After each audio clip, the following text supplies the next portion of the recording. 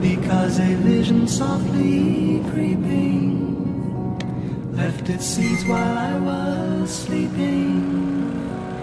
and the vision that was planted